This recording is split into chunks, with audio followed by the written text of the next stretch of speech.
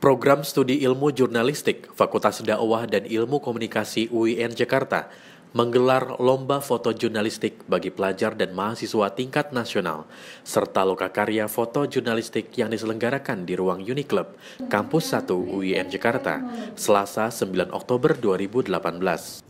Lomba foto jurnalistik ini bertema Wajah Indonesia yang menampilkan seni keindahan serta mengandung rekaman berbagai peristiwa menarik yang melibatkan manusia dan alam sekitarnya, sehingga layak diketahui oleh publik.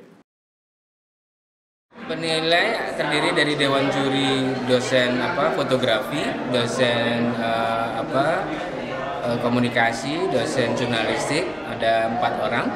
Mereka menilai tidak hanya pada artistik foto, ke keindahan foto, tetapi juga pada sisi konten.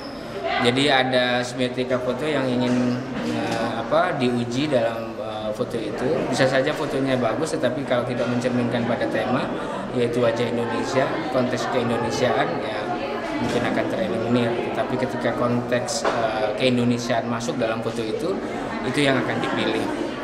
Uh, konteks keindonesiaan dimaksud uh, misalnya Indonesia uh, adalah negara kepulauan maka kemudian tema kemaritiman menjadi penting untuk di, diangkat.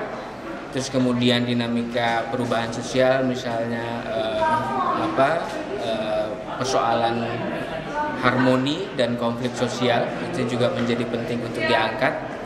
Terus uh, ada persoalan uh, apa adaptasi atau urban lifestyle itu juga penting untuk diangkat.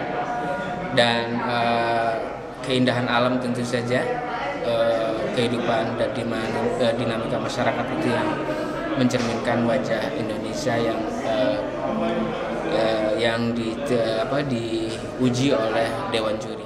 Hasil foto jurnalistik para peserta dipamerkan dalam acara Loka Karya dengan menghadirkan pembicara tunggal Rasdiana Alfadin selaku dosen fotografi Prodi Jurnalistik UIN Jakarta. Beberapa nama pun muncul sebagai juara dan berhak membawa uang tunai sebesar 1,5 juta rupiah bagi juara pertama, 1 juta rupiah bagi juara kedua, dan 750 ribu rupiah bagi juara ketiga, serta mendapatkan sertifikat pada masing-masing pemenang.